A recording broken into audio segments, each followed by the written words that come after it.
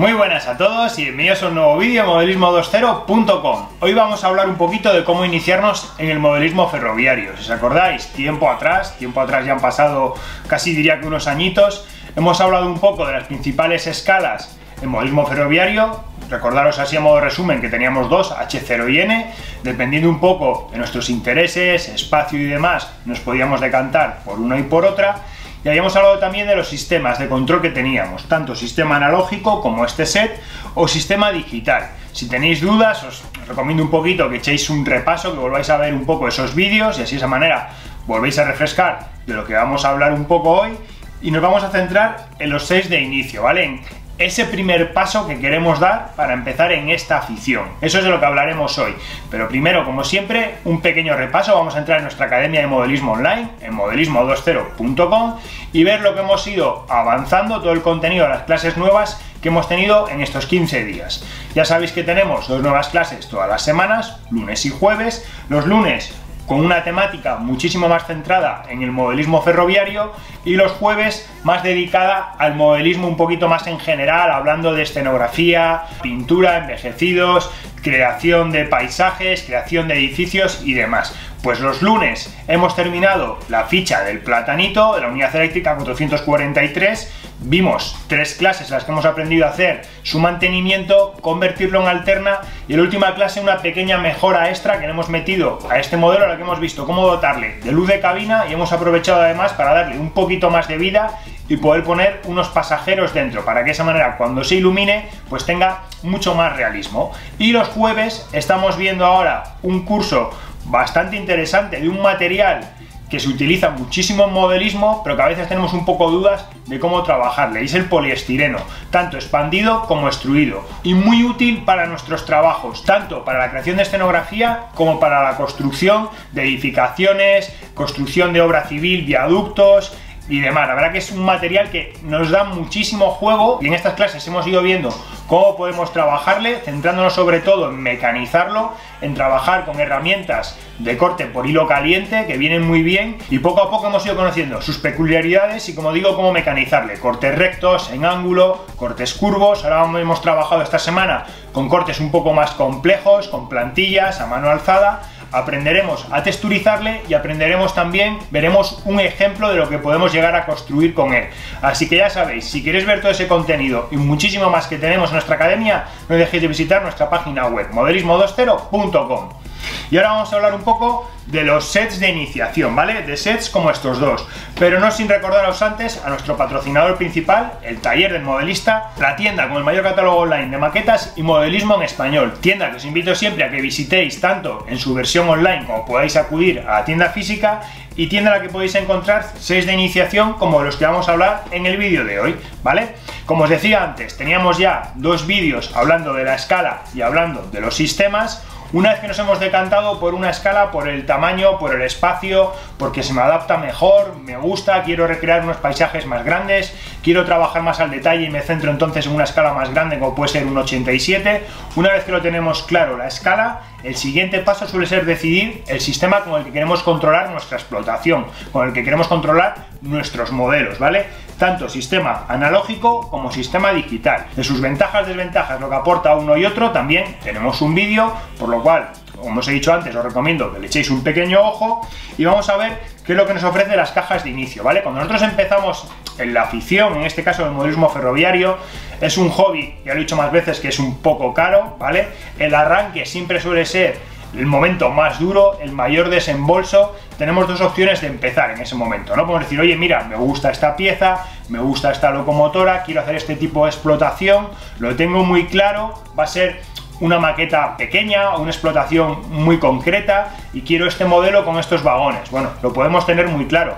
Pero oye, yo quiero empezar y quiero construir poco a poco una maqueta o quiero tener una maqueta compacta en el que circule distintos materiales, eh, ambiente alemán, ambiente europeo, ambiente ibérico, pero quieres algo un poco más genérico, que vayas creciendo con, con, la afición y que vayas adquiriendo cada vez más material, ¿vale? No siempre nos vamos a centrar en una escena concreta con unos modelos. En ese caso es cuando el desembolso es mayor, porque al final vas a ir comprando material motor, material arrastrado necesitas un sistema de control y necesitas vías, ¿vale? Necesitas todo eso que comprándolo suelto y de buenas a primeras puede ser así, un desembolso un poquito grande y ahí es donde los tests de inicio nos vienen muy bien para empezar, ¿vale? Ya que en una caja al final lo que tenemos es, pues, un material motor, una locomotora, unos vagones que arrastrar, nos suele venir siempre un grupo de vías que forman un pequeño óvalo, a veces puede ser más complejo y en vez de ser un óvalo puede tener ya algunos desvíos para un ramal, una vía de sobrepaso, depende un poco el set que queramos buscar, ¿vale? Tanto en analógico como este de aquí, en el que tenemos un regulador un transformador con un regulador, mejor dicho, que vamos dando más o menos voltaje y de esa manera nuestros modelos van a avanzar más rápido o más despacio con nuestra locomotora hasta que esté completamente parado, con 0 voltios, o un sistema digital con una central, dependiendo un poco de la marca, por el set de inicio que nos decantemos, ¿vale? Una central u otra, ahí dependiendo nuestros gustos, que nos va a permitir controlar distintos modelos gracias al decoder que llevan integrados con un mismo mando, ¿vale? Así muy resumido vamos a decir que sería eso. Yo a fecha de hoy, la verdad, todo el mundo que me pregunta cómo empezar, qué es lo que aconsejo, siempre aconsejo empezar por el sistema digital. El desembolso es algo mayor, pero yo creo que aparte de que está clarísimo que es el futuro, es con lo que más vamos a disfrutar, ¿vale? El sistema analógico, yo no sé si llegará a desaparecer del todo, yo diría que con los años sí, no sé cuánto va a durar, todavía sigue ahí, pero está claro que para poder disfrutar de una explotación de manera mucho más real y que nosotros eh, podamos pasar un buen rato con ello. Yo creo que el sistema digital es el futuro. Pero bueno, yo os enseño las dos opciones y es una cosa más que tenemos que tener en cuenta. Escala, ¿vale? Una H0 o N. Hay otras escalas, TT, Z y demás, pero bueno, yo creo que aquí en España las mayoritarias son esas dos. Sistema analógico y digital. Y a la hora de empezar, si queremos un set de inicio o si queremos empezar ya comprando nosotros todos los componentes. Pero yo creo que esa decisión lo que quiero es un poco hablaros de la ventaja que nos puede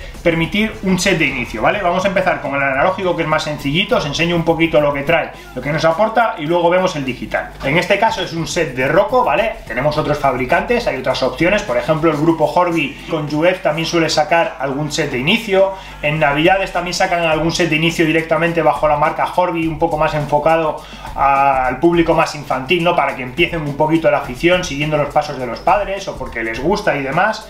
Hay otras marcas como Kato, como Trix, eh, Backman, ¿vale? Hay más marcas que venden sets de inicio, eso es un poquito lo que se nos adapta. Yo en digital sí que suelo recomendar los sets de Rocco o de Fleischmann, porque ya sabéis que Rocco y Fleischmann son el mismo grupo y lo que ocurrió es que cuando se juntaron Rocco se quedó con la explotación o con la fabricación, mejor dicho, de material en H0 y Fleischmann se centró en la escala N, ¿vale? Pero tanto sus transformadores en analógico como sus centrales digitales son las mismas para las dos escalas, ¿vale? Yo aquí os enseño dos opciones de Rocco, sobre todo en digital es la que yo más aconsejo, en analógico depende un poquito de nuestros gustos, pero bueno, para verlo nos sirve, ya que todas las marcas suelen traer algo parecido. Abrimos la caja y lo que tenemos, como os comentaba, es una locomotora, en este caso una 030 de la DB alemana, un par de vagones y unas vías suficientes para hacer un pequeño óvalo para poder rodar. Y luego aparte tenemos el transformador, ¿vale? Un regulador que nos está dando salida, en este caso para controlar nuestros trenes, nuestros modelos, con estas dos salidas de aquí en amarillo, ¿vale? Esas las regulamos con el potenciómetro que tenemos aquí, ¿vale?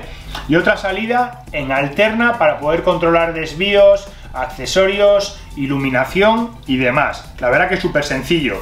Un transformador para poder alimentarle, simplemente le conectamos, ¿vale? Ya estaría. Y luego nos vienen las vías. Vamos a sacarlas un poquito para que las veáis. Que puede ser un poco el mayor inconveniente, pero luego os voy a hablar que tampoco yo creo que es un inconveniente excesivamente grande, porque puede que estas vías no se nos adapten a lo que queremos utilizar luego en nuestra explotación, eh, queramos utilizar vía de peco, un código de raíl distinto, eh, traviesa de hormigón en vez de traviesa de madera, sin lecho de balasto, todo eso puede ocurrir, pero yo creo que no es un problema excesivamente grande, ya que al final, con un set de inicio de esto, lo que estamos es comprando un conjunto con una, con una oferta a un precio mejor que si compraríamos las piezas sueltas Si las vías no se nos adaptan a lo que nosotros queremos, siempre las podemos utilizar para tener un óvalo de pruebas en nuestra mesa, en nuestro taller, como puedo tener yo aquí para probar el material, lo podemos colocar en la estación oculta o si por ejemplo en el caso de Rocco nos decidiéramos por utilizar vías sin balasto porque queremos que quede más real, poner el balasto nosotros y demás, ¿vale? En este tipo de vías tenemos la ventaja de que podemos retirarlo. Si quitamos la grapa negra que viene por debajo, ¿vale? Lo podemos retirar y se convierte en la vía que ellos te venden sin balasto. Entonces, ese problema no le tendríamos. Pero para empezar un óvalo de manera sencilla o una pequeña explotación, pues tenemos ahí un balasto sin complicarnos, ¿vale?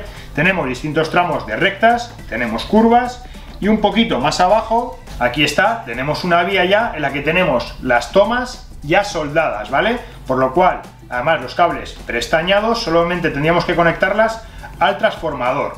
Una manera, como os digo, muy muy sencilla de empezar. Voy a sacar un par de rectas, la toma, transformador y la locomotora.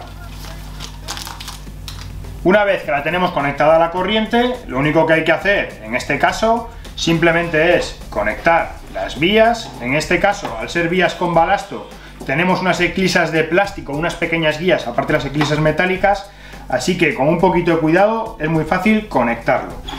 Conectamos una, conectamos otra, y ahora simplemente conectando estos dos cables a las tomas de la vía, que nos viene indicado además con el grabado de 0 a 14 voltios y un pequeño tren y la otra 14 voltios y un desvío viene grabado en el plástico, pues la conectamos a la que nos indica que es para el control de la vía, encarrilamos nuestra pequeña locomotora, una BR80 de la ADB, ¿vale? Y ahí tenemos ya una locomotora que va para atrás y para adelante, ya no tendríamos problema. Acabamos de montar el óvalo y tenemos la locomotora, dos vagones y un regulador para funcionar. La mayor ventaja, como os comentaba, es que al final es una manera vamos a decir, más barata de empezar en el hobby. Siempre sale más barato comprar un set de inicio ya con un pequeño óvalo, locomotora, vagones y demás, que si compramos regulador por un lado, una BR80 como esta, dos vagones, las vías y demás. El inconveniente puede ser que no se nos adapte, pero también hay distintos tipos de sets para que nos gusten un poquito más o no, ¿vale? También hay opciones, como antes os comenté, más pensadas para el público infantil. Tanto Horby, que saca a veces algunos sets, como Marklin, con lo de Marklin May Work, que va sacando opciones un poquito más pensadas en empezar ya desde crío, empiezas con ese set, te gusta y vas avanzando, vas comprando ya material más de colección, material más de calidad, es una opción muy buena y vamos a hablar ahora un poco ya de los sets digitales que yo creo que es donde tenemos la gran ventaja de poder empezar con un set de inicio, es donde yo sí que lo recomiendo de verdad para comenzar, aunque esta opción también nos sirve un poco para quitar el gusanillo y quizás hasta romper la pared y empezar ya con la afición, ¿vale? Recojo esto y os enseño un poco el set digital que es ya bastante más complejo, ya veis que al final aquí teníamos un pequeño óvalo, material, y un transformador, muy sencillito, pero lo justo para poder empezar a circular con nuestro material. Vale, aquí tenemos un set de digital, ¿vale? Con una Z21 Star, como os comentaba, tanto para escala H0 como para escala N, es decir, de Rocco como Fleischmann, nos va a cambiar el material motor, nos va a cambiar la escala de este material, la escala de la vía, pero la central digital, la Z21, va a ser exactamente igual. Lo que nos ocurre con el transformador que hemos visto en otro set de inicio. El transformador va a ser el mismo. Tenemos alguna otra opción también de este de inicio de casas como Trix, como Markling, que trabajan con la Mobile Station, ¿vale? Con otra central digital. Pero yo creo, desde mi punto de vista y a mi gusto, que la Z21 hoy en día yo creo que es la, opción de central digital eh, más accesible, que más prestaciones nos puede ofrecer en función a su precio, ¿vale? Calidad-precio, yo creo que la Z21 es una gran central digital. Hay opciones más avanzadas como pueden ser las de ESU, ¿vale? Pero, o la de Lens, hay otras opciones de Cimo, pero yo creo que hoy por hoy la de Rocco, compatible con otros sistemas, y yo creo que es la que mejor nos va a ir, ¿vale? No, no tenemos ningún problema con ella y es la que yo siempre aconsejo. Tanto la Z21, vamos a decir la avanzada, la de caja negra, como en este caso la versión Star, que es la que vamos a ver aquí en esta caja de inicio. Hay alguna caja de inicio que vienen también con un router, ¿vale? La Z21 Star, pero con un router, luego os voy a hablar un poquito la diferencia, pero este es el set básico y yo creo que una opción buenísima para comenzar en el modelismo ferroviario. Tenemos dos bandejas, en la bandeja superior tenemos el propio mando, ¿vale? El multimouse en sí, que es un mando con el que llevan ya funcionando muchísimos años, muy cómodo de manejar. En este caso, un conjunto de tres vagones de mercancías con unos contenedores y una locomotora diésel, ¿vale? Un cachito ya bastante más grande que la locomotora vapor que hayamos visto antes, con un decoder ya integrado, por lo cual ya otra opción, otro desembolso menos, locomotora y decoder ya lo tenemos, siempre está la opción de comprar locomotoras digitales, pero en el set de inicio ya viene con su decoder. Y en la bandeja inferior, aquí lo que tenemos son las vías, ¿vale? Tenemos lo que es el propio cajón, la central digital en sí, la Z21 Star, que la tenemos aquí, tenemos el transformador y el cable. Voy a ir sacándolo todo y voy a coger también unos tramos de vía como antes para montar una pequeña recta. Aquí tenemos todo lo necesario ya para comenzar, ¿vale? Locomotora, central digital con su mando, transformador y cable para conectarlo y en este caso unos tramos de vía hasta que formáramos el óvalo completo, ¿vale? Nos viene indicados, la otra caja también era un poquito más pequeño las medidas del óvalo, un metro por 215 y también nos ofrecen distintos sets de ampliación para ir pasando de un óvalo sencillo a un óvalo un poco más grande con una vía apartadero, con una vía de sobrepaso y un pequeño apartadero, bueno, distintas opciones, ¿vale? Si queremos ir ampliando con los sets que ellos nos ofrecen. Y por la cara de atrás nos viene una guía muy rápida y muy sencilla de las primeras conexiones para empezar a funcionar un pelín, pero un pelín más complejo que el sistema analógico a la hora de conectar, pero no tiene tampoco ninguna dificultad. Ahora os lo enseño. Vale, esta es la Z21 Star, ¿vale? La central de partida de Rocco y de Fleischmann, con la que podemos empezar. Luego se puede ampliar, podemos poner un sistema con router y un código de desbloqueo que nos venden aparte para poder funcionar con su, con su aplicación, con la de la Z21, ¿vale? O si no, tenemos la opción siempre de la Z21 vamos a decir, la, gama siguiente, que es de color negra, que lo que tenemos son más salidas, ¿vale? Más puertos y sobre todo, aquí atrás donde tenemos solamente una salida a la vía, en la Z21 normal tenemos dos salidas distintas, a vía principal y a vía de programación. Aquí simplemente tenemos una sola salida, ¿vale? Más parecido a los antiguos cajones negros. Luego tenemos los dos puertos Xbus en los que vamos a conectar el multimouse, ¿vale?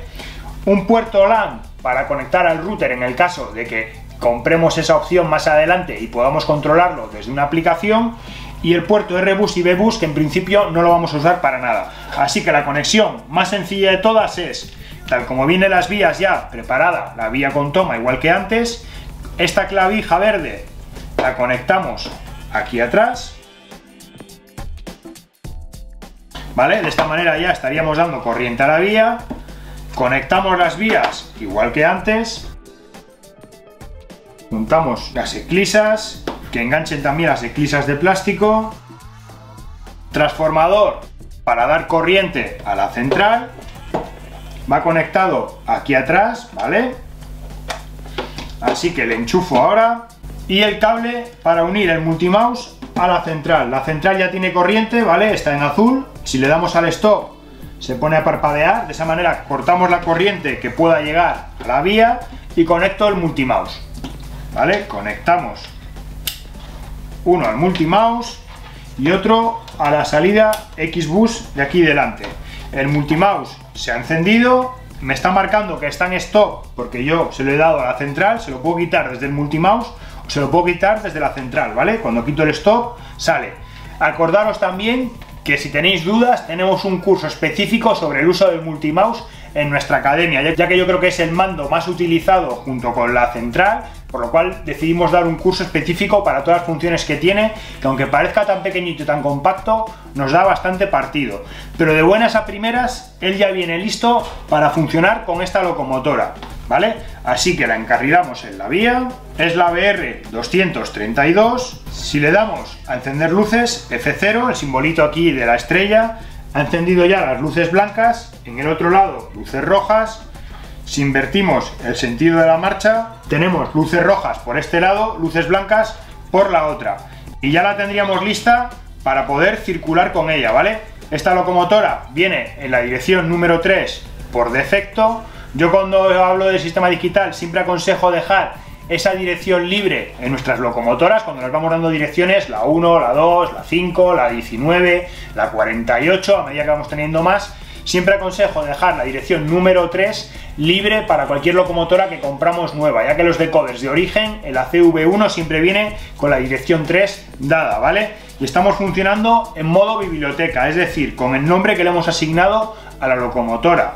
Si pulsamos Shift y a la vez locomotora desvío, ¿vale? Vamos a modo dirección y vemos que estamos en la 3. Si pasáramos a la 2, esta locomotora deja de funcionar, ¿vale? Nos tenemos que venir a la 3 para que la locomotora responda. Eso dependiendo un poquito de si funcionamos en modo dirección, modo biblioteca, ¿vale? Pero todo eso, como os comentaba, lo tenemos en el curso del multimouse, igual que el curso de mapeo, curso de iniciación al digital y curso de codes de su que está dando ahora Pablo.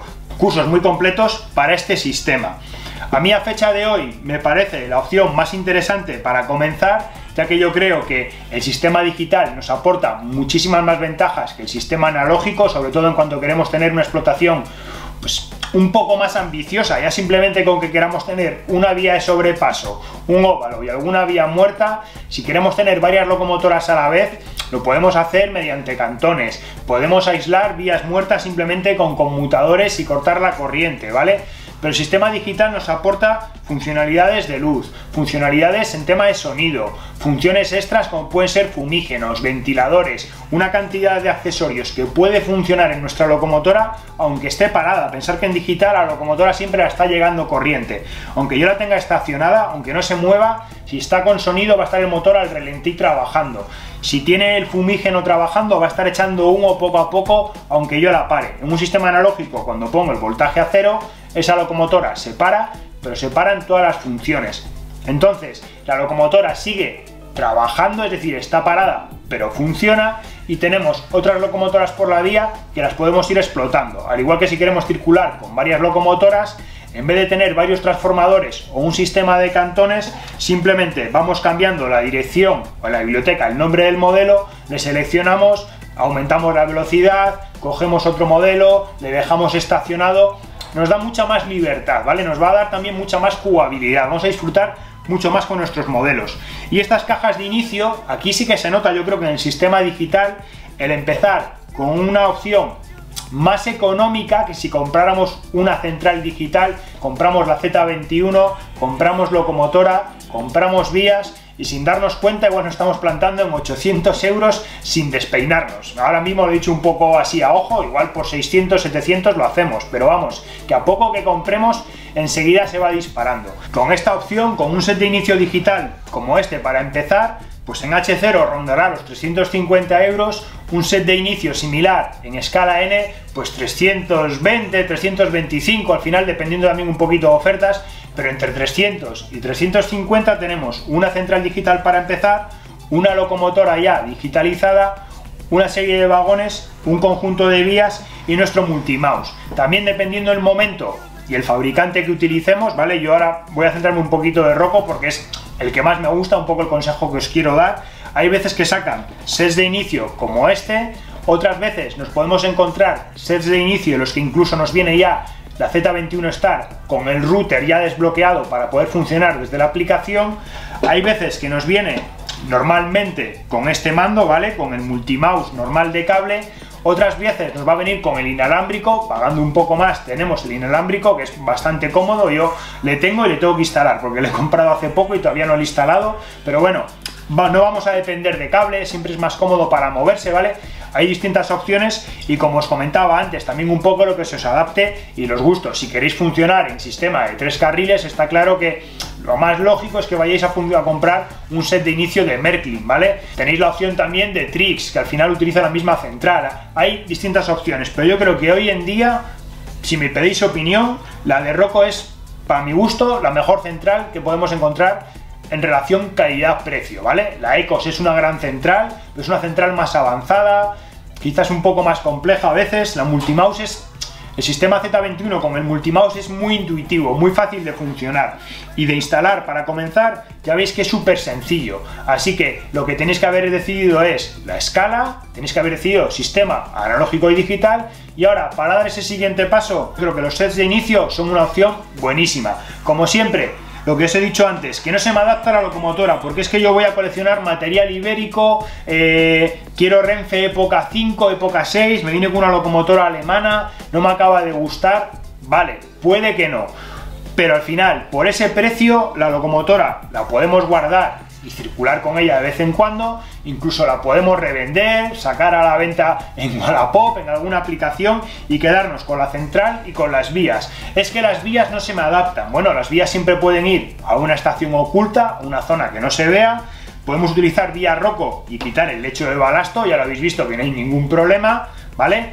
O siempre podemos tener también un óvalo de pruebas, como tengo yo, que sí que nos viene muy bien para ese pequeño óvalo, un tablero guardado para que al principio, cuando queremos probar algo, porque la maqueta está en otra zona, eh, en otro edificio, o en la casa del pueblo, pues en tu residencia habitual que igual no tienes espacio, tienes un pequeño tablero con un óvalo para mantener tu material, para las mejoras que vas haciendo, cuando digitalizas material antiguo le quieres probar y demás. Así que yo dejaros un poquito la idea, que es una opción muy buena para comenzar en el modelismo ferroviario. Y con esto yo creo que hemos terminado una serie de vídeos que empezó hace ya unos años, como os comentaba, con cuál es la mejor escala o por qué escala decidirme, H0N, sistema analógico y digital, y ahora ya veis cómo iniciaros, con los test de inicio, que creo que es la mejor opción. Así que nada, muchísimas gracias, espero que os haya gustado, que os haya resuelto dudas, porque muchas veces por comentarios, por mails que nos mandáis de cómo puedo empezar, qué me recomiendas, tú qué crees, esta opción, esta otra, pues bueno, aquí os dejo un poquito mi opinión, como os digo, espero que os haya gustado y nos vemos en el próximo vídeo.